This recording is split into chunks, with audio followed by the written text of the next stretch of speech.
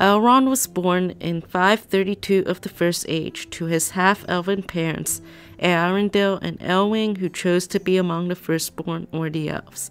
He was also the twin brother of Elros, who will eventually start the line of the Númenóreans, the line of Elros. Elrond is half elven. Thus, he, along with his brother Elros and his daughter Arwen, will be able to choose either to live among immortal elves or live among mortal men. The half elven line started from Beren and Luthien. Luthien was the daughter of Thingol and Melian, the latter of which is a Maia of the race of the Valar. Luthien fell in love with Beren, a mortal man. After passing into the halls of Mandos the first time, she was given two choices after the quest of the Silmarils to be released from Mandos and go to Valimar to live among the Valar, or to return to Middle Earth and take Beren with her. Luthien chose the latter, and thus she would become mortal and her fates and Beren's were to be joined. Thus, she would start a half elven family line, and they will be known to have elves and men as ancestors. Elrond's parents would choose to be among the Eldar after Eärendil would set sail, and he and Elwing would be summoned to Valimar by Manwe.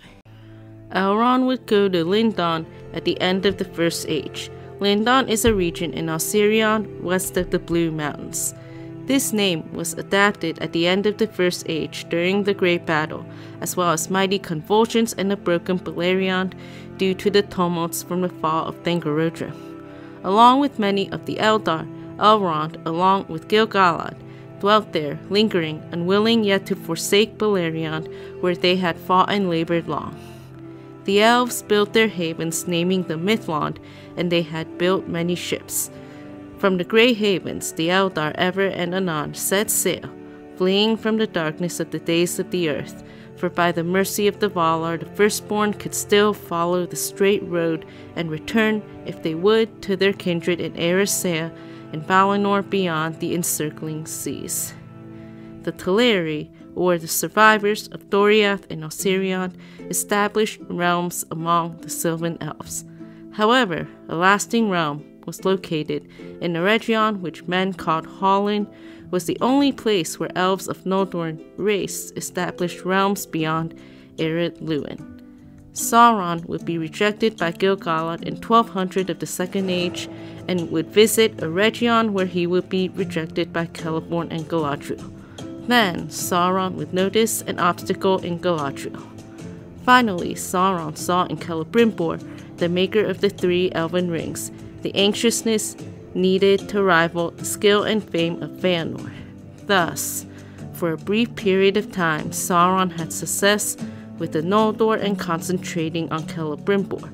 He was able to get the smiths of Eregion under his influence and thus besiege Eregion. However, Celebrimbor repented and the Three Rings, as he had noticed Sauron's motives and designs. Celebrimbor was slain by Sauron as a result, but Sauron didn't get the three rings. As a result, Elrond founded Rivendell as a stronghold for the refugees from Eregion, drawing them away northwest. This remained an elvish stronghold throughout the Second and into the Third Ages. Thus, Sauron tried to invade Rivendell but failed in the Second Age. After the last alliance of the Second Age, many elves dwelt in Rivendell, making it the chief dwelling of the High Elves in Eriador. Elrond bore the ring, Vilya, the Ring of Air, one of the three rings of the elves. Vilya would be used to heal the hurts in the Third Age. It was the mightiest of the three rings and would help Elrond's healing powers and deeds in Rivendell.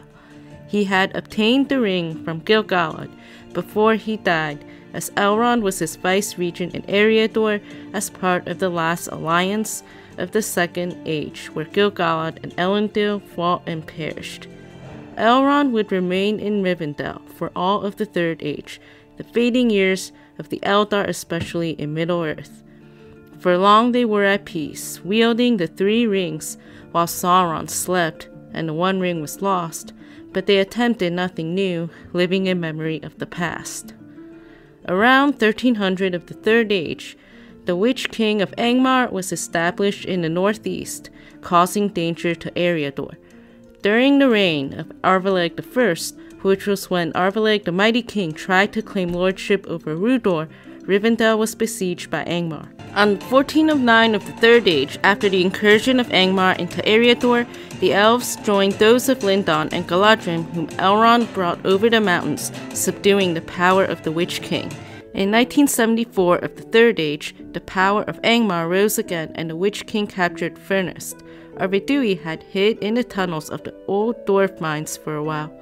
The end of the North Kingdom occurred a year later, and Aranarth, the first chieftain of the Dunedain, had his son fostered in Rivendell as well as all subsequent sons of the chieftains.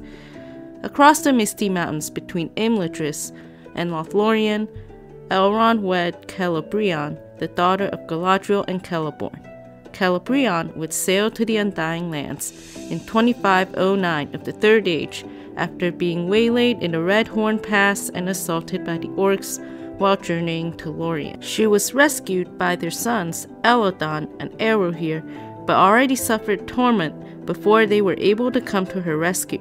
While Elrond was able to heal her in Rivendell, she lost all delight in Middle Earth the year after the event.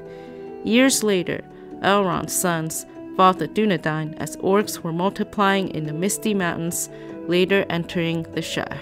During the quest of the One Ring and the quest of Erebor, Elrond stuck to his healing roles. Elrond symbolizes throughout the ancient wisdom, and his house represents lore, the preservation and reverent memory concerning the good, wise, and beautiful. It is not a scene of action, but of reflection. In the quest of Erebor, Thorin and company had visited Rivendell. He had befriended Bilbo as a result, which was why Bilbo spent his remaining days in Elrond's home after his 111st birthday. Just before the council, Elrond commanded the flood that would carry away the horses ridden by the Black Riders. His folk met the fellowship on the way to Rivendell, carrying an injured and wounded Frodo. Thus, in both cases, after escaping from imminent pursuit of evil, the hero can go face it in a wholly new direction. In the council, Elrond traced the ring, spoke of Numenor, and recalled the ring bearing of Isildur, citing that he would refuse to listen to the counsel of Elrond and his people. Sauron was diminished but not destroyed, his ring lost but not unmade. The Dark Tower was broken, but its foundations were not removed. Thus, while the last alliance of the Second Age did not achieve its end, it ended in victory. Elrond was also Aragorn's foster father and demanded that he become the king of Gondor and Arnor before marrying his daughter, which Aragorn eventually will. And after the quest of the One Ring, Elrond, along with the bearers of the Three Rings, would no longer remain in Middle Earth as the powers of the Three Rings fade.